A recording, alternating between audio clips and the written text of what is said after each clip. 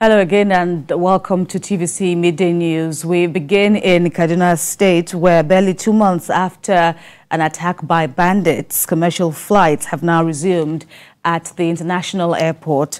The bandits had on March the 26th launched an attempted invasion of the facility, killing a private security guard attached to the Nigerian Airspace Management Agency near the outer perimeter fence.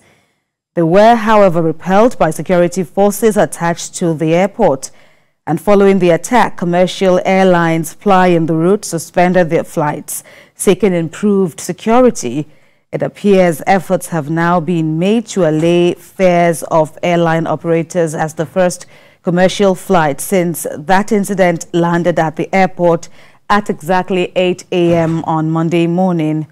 Passengers are now expressing delight over the resumption of flight services.